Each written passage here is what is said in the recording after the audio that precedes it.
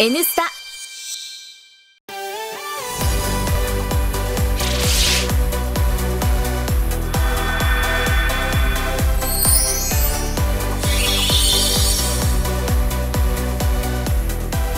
特集はシリーズ2020福島の5回目。取材した高橋アナウンサーです。はい。今日はウェイトリフティングで東京オリンピックを目指す三春町出身の今内光則選手に注目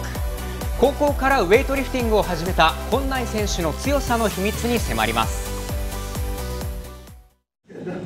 常に上を見続けることですかね。満足したら終わりだと思うんで。今月15日福島市で行われた表彰式。今年度国内外のスポーツ大会で活躍した県内出身選手たちの姿がありました。今内光則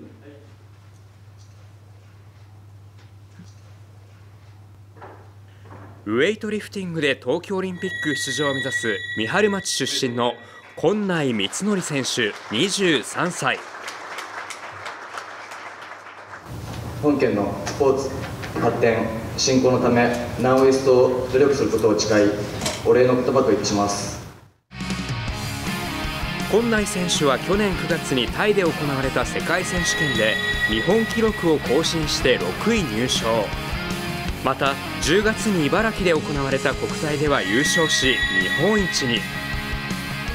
今年の東京オリンピック出場に期待がかかる県内出身のアスリートです。一番の目標はオリンピックに出る東京でオリンピックに出るのが目標ですけどやっぱり表彰台日本にメダルを持って帰りたいなっていうのが一番の目標です。ウェイトリフティングは頭上に一気にバーベルを上げるスナッチと一度肩までバーベルを引き上げてから頭上に上げるクリーンジャークの2種目があります。大会ではどちらも3回ずつ行いそれぞれ成功した一番重い重量の合計で競います。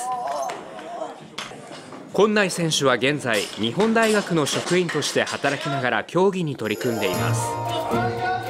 今ではウェイトリフティングで日本の頂点に立つ今内選手ですが中学校では陸上部に所属し長距離を走る陸上選手でした。その後進学した田村高校でも陸上部に入部。しかし入部後すぐに挫折を味わったといいます。自分の中学レベルの陸上と田村高校は当時全国によく行く学校だったんでちょっと練習の量についていけなかったですね。駅伝の伝統校田村高校陸上部のレベルの高い厳しい練習についていくことができず1年生の途中で陸上をやめウェイトリフティングを始めました。こんな簡単そうな競技あるんだなと思って始めましたウェイトリフティングする人はもう高校生からっていうのがあったんで何ていうんですか用意スタートで初めてのことをやらせたら負ける気はしなかったですね。努力が実り高校3年のインターハイで優勝し初めて日本一に。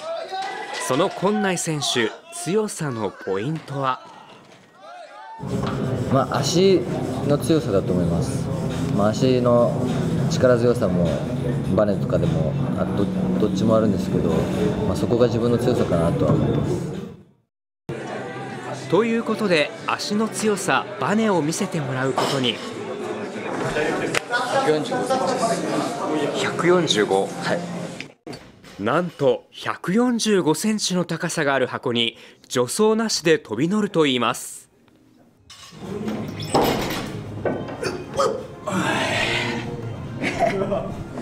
頑張りました。この強いバネを持つ下半身を生かして全身を使うことで重いバーベルを持ち上げることができるといいます。